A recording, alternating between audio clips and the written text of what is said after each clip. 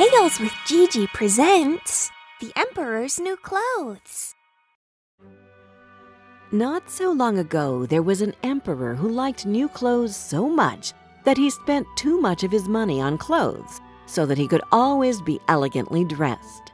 He didn't care much about inspecting the soldiers, nor about going to the theater, nor about other events unless he had something new to wear. He could change his gown 10 times a day and still he would have plenty of new gowns to show off. One day, two swindlers entered the glorious city.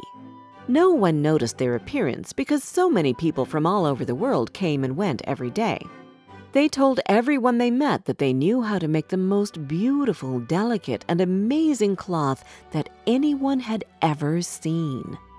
The clothes they made, they claimed, were so fine that they were visible only to the most refined eye, and invisible to those who were unusually stupid. The emperor was excited to see the new cloth and paid the two swindlers a large amount to set up two looms. Then the tricksters asked for the finest gold and silk thread to be delivered. The emperor ordered it in, but little did he know that the packages of these expensive materials went right into the pockets of the swindlers. They pretended to work hard at the empty looms until late at night. Those weavers should be ready with the cloth, the emperor thought, and sent his first minister to check because he was unsure whether he would be able to see the fabrics. The emperor waited for his minister to come back with the news. The citizens of the city also couldn't wait to see whether the minister was stupid. The honest minister went to the weavers who were working all day at their empty looms. He couldn't believe his eyes when he saw the looms were empty and there was no fabric on any of them. I can't see anything at all, he thought to himself. But he bit his tongue because he was afraid to admit it and be shown to be stupid. Would you like to come nearer and see the amazing colors and the excellent pattern? They asked. The wise old man was speechless. He was too stupid to see the cloth. He wondered how that was possible. Of course, we know that he couldn't see anything because there was nothing to see.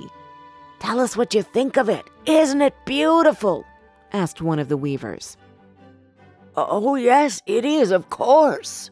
The old minister was so shocked by the discovery that he was not fit to be a minister that he hurried to answer positively. What a pattern! What colors! The minister was looking at the empty looms. Thank you. We work really hard to achieve such excellence. The swindlers lied and asked for more silk and gold thread, which they would again steal.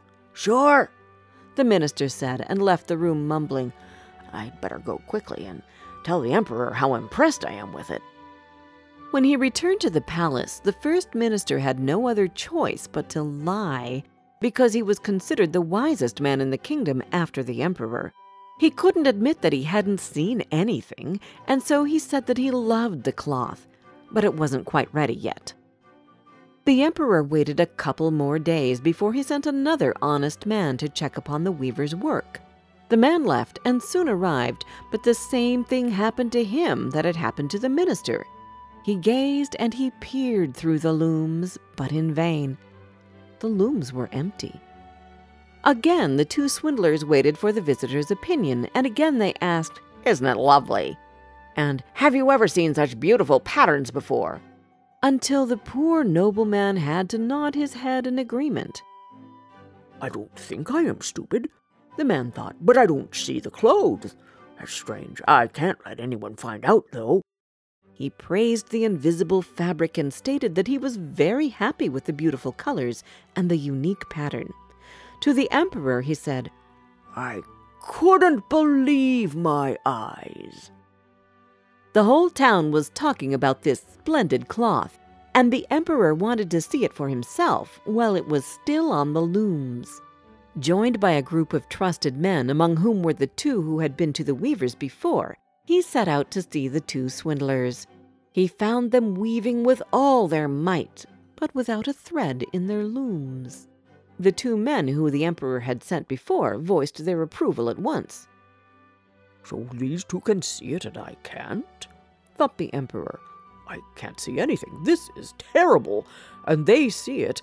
That's even more terrible, thought the Emperor, and nodded in approval, afraid that he might be a fool himself. He even gave the two weavers the title Sir. Everyone else, following the Emperor's advice, started admiring the great clothes, and some of the men advised His Majesty to wear them on the day of the procession. The day of the procession came, and the swindlers announced that they had finished and that the Emperor's new clothes were ready. His Majesty arrived with his noblemen as soon as he heard the news. The two swindlers acted as if they were lifting clothes from the looms and presented the garments one by one. Here are the trousers, and this is the shirt, and finally the coat. They are so light that one would think he has nothing on, but that's why they are so exquisite. Everyone agreed, although they couldn't see anything, because there wasn't anything to be seen. If your majesty would like, we'll help you put on your new clothes, the swindlers said. The emperor took off his clothes, and the two men pretended to dress him and fasten the coat, while he was looking at the mirror. When ready, the swindlers said that they have never seen anyone dressed more beautifully before. Magnificent! The cut, the fabric, the color! Noblemen on all sides were exclaiming. When he was all dressed up, the emperor took a last look of admiration in the mirror, and certain that his new clothes looked fantastic, he started the procession.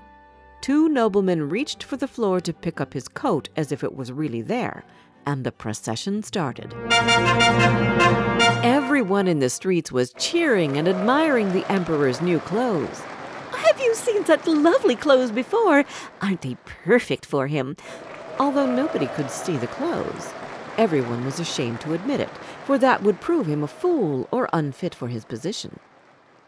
But he isn't wearing any clothes, a little child said.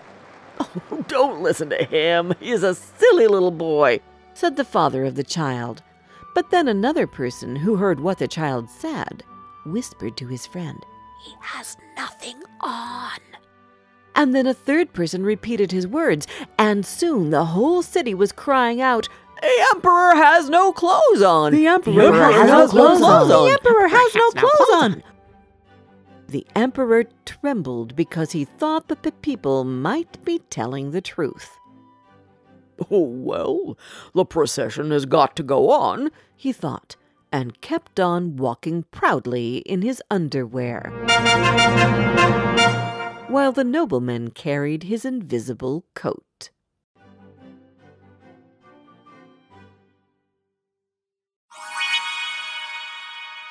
Did you like this story? Download our storytelling app, Tales with Gigi, where you can find more than 30 other fairy tales and fables which can come in handy during feeding time, bedtime, or on road trips. And don't forget to subscribe to our channel We've got new tales coming out every Wednesday.